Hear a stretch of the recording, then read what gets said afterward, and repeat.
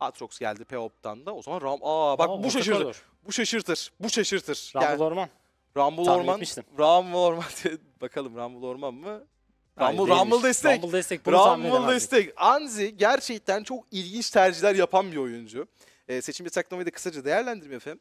Comanche Gaming tarafı yine biraz daha böyle yakalamak isteyecek vesaire ama yakalamak için iki tane kaynağı var. Twisted Fate ve Maokai. Bunun devamında anlık hasar odaklı bir takım. E, tanklık olarak biraz sıkıntı yaşayabilirler ama yine de kötü bir kompozisyonları yok. Erken oyunları biraz daha Wonka'ya bağlı gibi düşüyor. Twisted Fate orta koridorda. No Name tarafında ise bence çok standart bir kompozisyon var. Lee Sin'le birlikte erken oyunu Syndra ile tempo tutacaklar. Ondan sonra geç oyunda direkt e, Varus vur abi. Sen de izleyecekler. Yani Özgür'ün şu anda bu baskısı gayet doğal ama yani bu kadar baskı kurduktan sonra ejderi vermeniz normal mi? Eğer işi kurçuklarını almayı tercih ettiyseniz normal. Peki işi kurçuklarını almak mantıklı mı? Bunu konuşalım biraz. Kuşatma kompozisyon olarak koridoru ittiriyorlar vesaire. Menzili de uzun.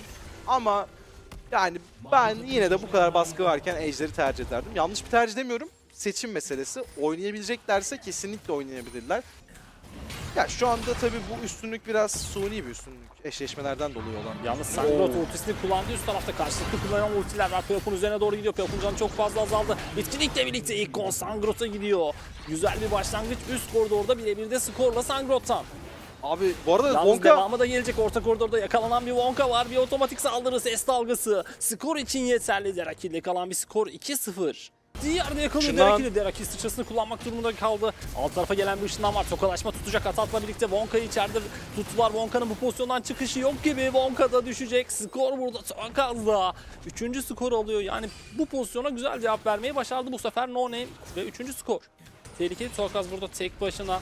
Henüz desteği gelmiş bir durumda değil. Burada bakalım Tuakaz pozisyondan çıkabilecek mi? Arındırını kullandı güzel bir deneme. Ama ultinin içerisinde burada dengeleyiciden çok fazla hasar aldı. Devamında kuleyi tanklayan oyuncuya bakıyorum. Ama bu pozisyonda skoru almayı başaracaklar. Skor özgürde kaldı. Şimdi desteğe gelen bir Sera, e, Safir var. Safir'in desteği yeterli olacak mı bakıyorum. Safir yanıyor çok fazla kule altında hasar. Çok iyi bir tokalaşma. Ve ulti geldi. Burada bir skor almayı başardı. Renata Atat'tan gelen bir skorla birlikte birebirlik bir değişime dönüşecek burası. Ya bu kadar hızlı Kester Curse'ün olmaması lazımdı. Safir'den çok iyi bir hamle dedim. Alt koridora yöneliyor. Tamam takım arkadaşını koruyacak dedim ve bir anda ne olduysa kararını değiştirdi. Orta koridora gitmeye karar verdi. O Wonka yakalanacak mı? Yok. Evet, yok hayır. Yakalanma. Yani yakalanmaz herhalde değil mi? Oo, deneyecekler. Tokalaşmada tutuyor Wonka. Kester Curse'e bir kez daha kurban gidecek. Burada bir skor daha geliyor. Ben susuyorum. Ellerinde. Ben susuyorum. Bir şey konuşunca iki takımın da işine yaramıyor. Az önce Safir'den bahsettik. Şimdi Wonka yakalandı öldü. Ee, yani burada gerek yoktu. Zaten bu ejderi isteyemezsiniz ki. Takım arkadaşlarınız ölmüş, yeni geliyor. Niye etrafında oynamak istiyorsunuz ki? Gereği yoktu gerçekten. Bu biraz da ikramiye gibi oldu No Name adına. Evet. Sangrot'a. Oo! Yalnız buraya bir baskın geldi Wonka'dan. Yakalanan bir oyuncu var sarı kartla birlikte. Şimdi destek gelecek. Bakalım canı çok az Safir'i düşürmeye başardılar ama Lee Sin burada. Derakil'de kalan bir skor birebirlik bir değişim. Seriye bağlayan bir Derakil var. Devamında da üzerine gidiyor şimdi. Ses dalgasıyla birlikte ikincisiyle aktifleştirdi ve yakaladı canı çok az. Tokalaşma tutacak mı diye bakıyorum. Yavaşlatma etkisi. Şimdi skor tekrar geliyor. Ve dördüncü skoru bu. Derakil'in karşılaşmaya inanılmaz başladı. Tamam skoru yok vesaire ama güçleniyor adam yani.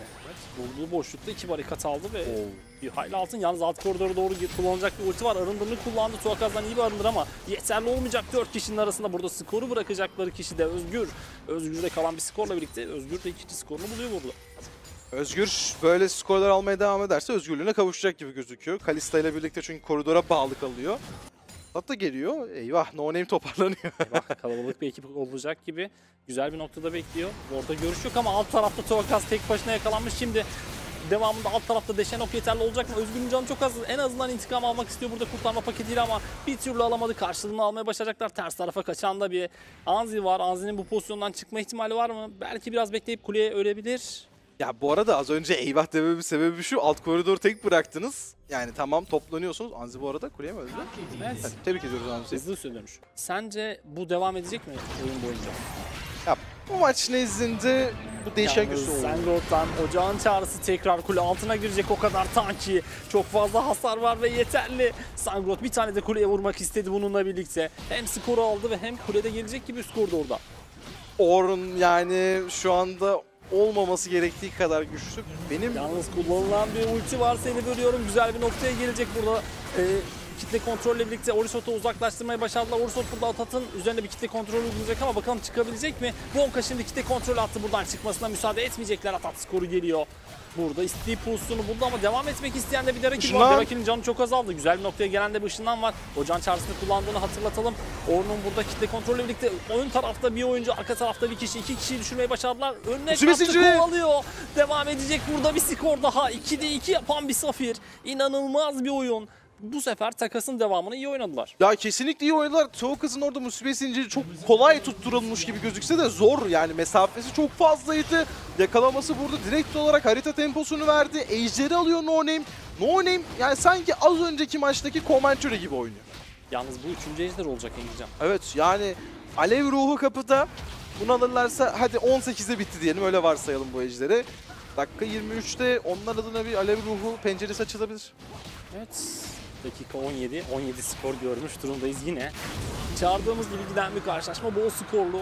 Takım savaşını çok fazla gördüğümüz bir karşılaşma. Üst tarafta alameti de başlamış ve bitirmiş.